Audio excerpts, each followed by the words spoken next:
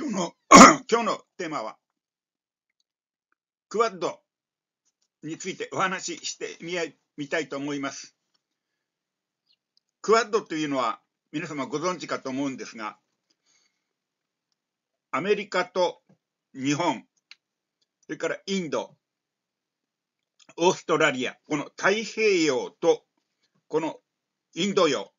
に面している4カ国が自由や民主主義、法の支配といった基本的価値を共有し、自由で開かれたインド太平洋実現に向けた4カ国による連携のことを言っておるんですね。まあ、ご存知のように日本というのは海洋国、紙面を海に囲まれている国、まあ、アメリカも全く一緒ですが、で、日本はまあ、中国がですね、これは大陸国ですが、非常に、まあ、覇権主義的な行動を強めてますよね。この東シナ海における日本の尖閣諸島、まあ、領海侵入を毎日繰り返すとか、あるいは南シナ海におけるですね、ベトナム、フィリピン等の島々をですね、占有して自分で軍事基地化するというような非常に身勝手な、で、これらの南シナ海とか東シナ海というのは、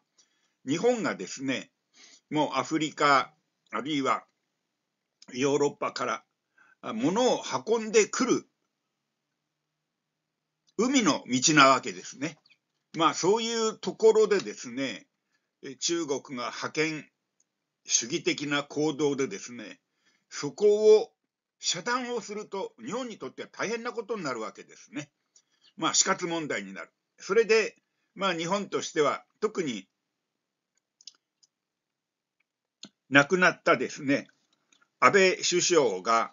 かってですね、2006年に、その、これら4カ国のですね、戦略的対話を訴えた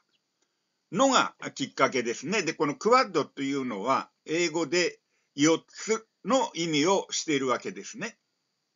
それで、2022年に日本で、このクワッドの首脳会議が行われて、この2023年の今年の5月に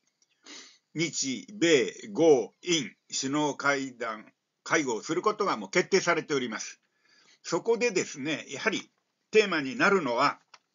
まあ、ウクライナ、東アジアを含めた地域情勢、経済安全保障面での協力、気候変動といったような課題への対応などで意見を交わすということがテーマになってくるわけです。それで、え、中国が非常に覇権主義的な行動を強める中国に対して、やはり一致団結していこうということ、それから核ミサイル開発を活発化させる北朝鮮の状況をウォッチする、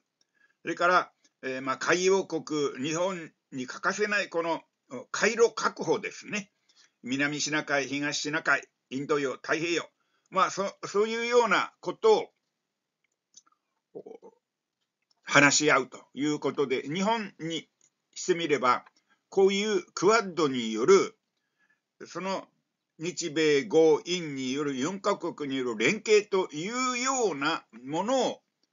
前面に出すことによって、対中国に対する抑止力を高めようという一つの外交政策でもあるわけです。